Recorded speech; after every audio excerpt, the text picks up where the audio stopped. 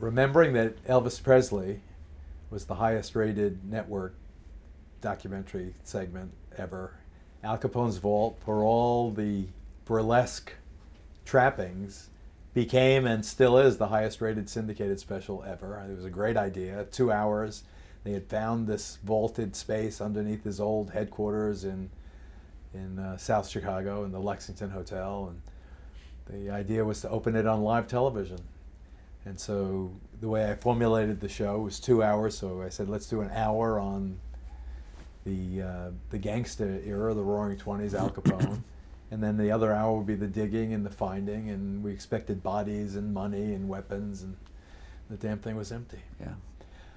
But uh, So how did this? Uh, it was a rating success, but how did this affect your your uh, career? I- be, because this is for the archives, it wasn't a rating success. It was a historic broadcast watched by more people than the Super Bowl. It was we did a 70 share in Chicago. We did a 65 share, I think, something like that in Los Angeles, and everybody knew that the damn thing was empty by then, and they still watched. Uh, it was the highest rated syndicated special ever. It was broadcast live in 12 different countries. But I also knew that all of my former colleagues, all the snobs who had kind of given me the cold shoulder during those years at ABC, were watching it and ridiculing me. So I really, I was humiliated when the show ended in Chicago. It was live, as I said. I, I went across the street with uh, my wife, Cece, at that time. We weren't married yet. Uh, maybe we were married. No, we weren't married. We were about to get married.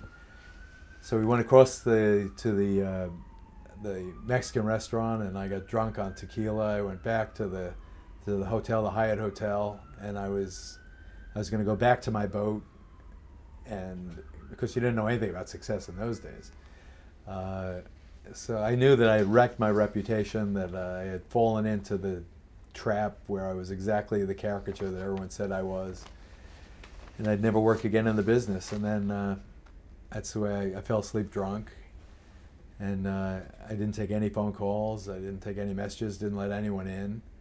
Uh, CC kind of uh, opened the door the next day to the room service guy. It was I never forget him. It was an old black man, old thin black man. He looked like the kind of guy had the kind of dignity that the old railroad porters did. You know, real, uh, very composed and, Mhm. and, and, and smart and dignified. And he pushes in. He sees me looking down. He says puts his arm around me at some point and says, uh, "Don't worry, son. They're not going to blame you for the bad news."